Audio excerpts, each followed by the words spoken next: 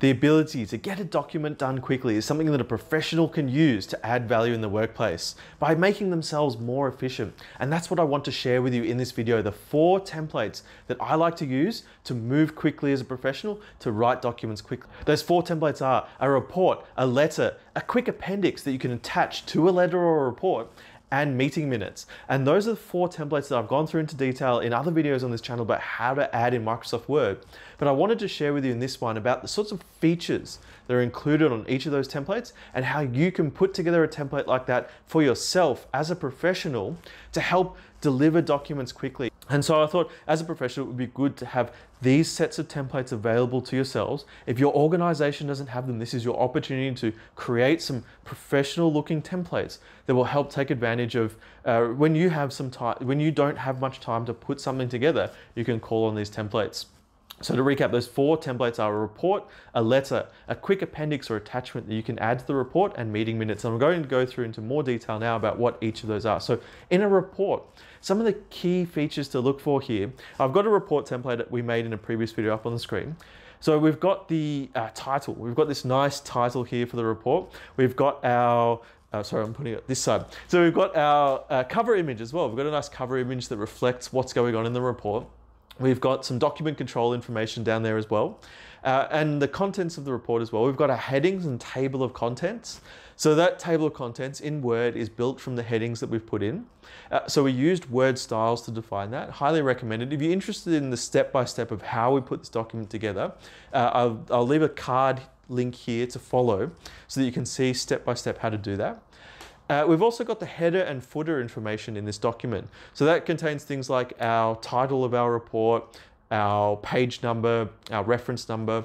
Document control is going to be a common theme throughout this uh, video where uh, having a right number assigned to a document, having a number assigned to a document within a system gives the reader confidence that this document has been produced professionally.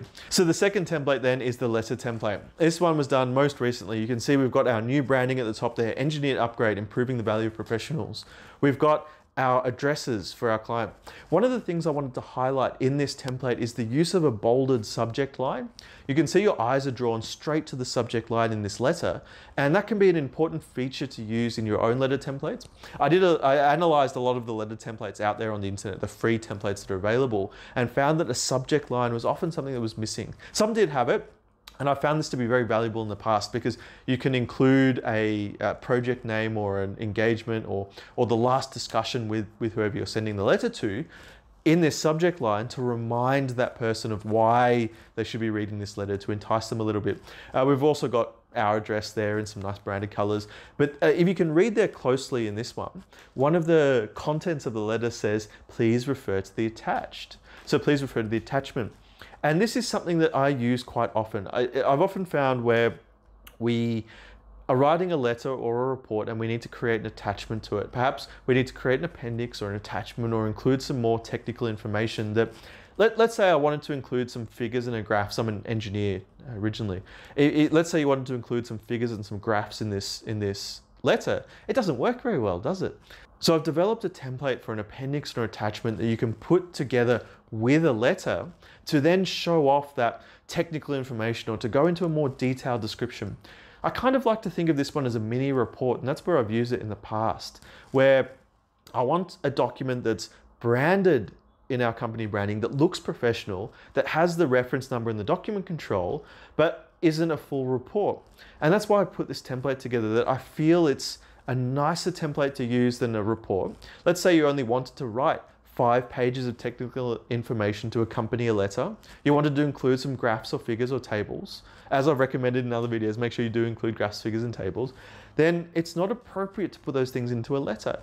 It's not appropriate to put those things into a report. It's going to add a lot of bulk that people don't want to read.